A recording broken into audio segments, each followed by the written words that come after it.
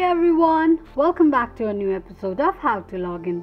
Today in this video, I'm gonna show you how you can change language in Craigslist account.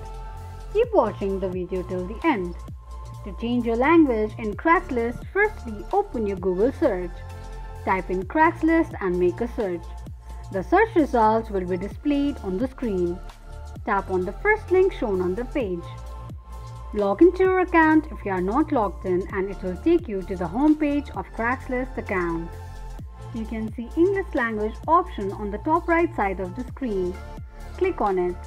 List of language options will drop down. Choose the language that you want to change and this is how you can change language in Craigslist account quickly and easily just in few steps. If you have any thoughts or queries, let us know in the comment section. Don't forget to subscribe to our channel. Also press the notification bell icon so that YouTube will notify you whenever we post a new video. I hope this video was helpful to you.